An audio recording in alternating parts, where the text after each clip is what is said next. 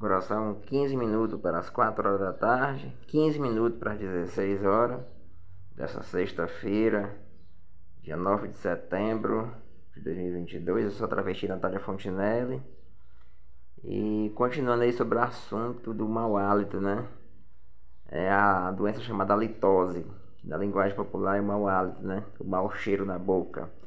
Tem pessoas que têm o, o hálito, tem vários tipos de mau, de mau hálito, né? O, o hálito podre, cheiro de carniça, cheiro de, de, de fezes na boca. O mau hálito pode ter várias origens, né? Pode ser uma periodontite, uma gengivite, pode ser placa bacteriana, pode ser a má escovação dos dentes, pode vir da língua, da gengiva, do estômago, do intestino, né? De vários lugares. E pode ser uma doença congênita. E a gente tem que escovar, não é só os dentes, tem que escovar os dentes, a gengiva, escovar a língua lá de trás, depois na frente, usar o fio dental, trocar a escova de dente a cada dois meses, trocar a pasta de dente, o creme dental e ir no dentista regularmente.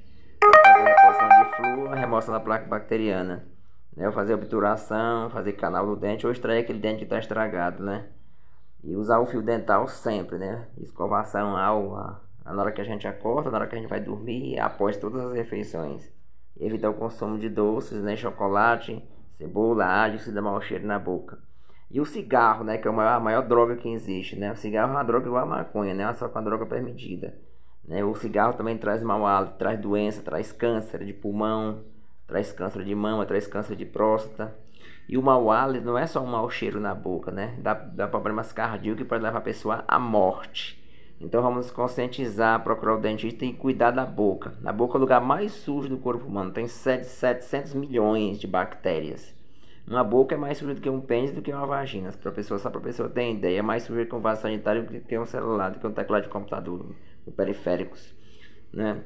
Então, para você saber se você tem mau hálito, coloca a mão aqui na, na frente e faz isso.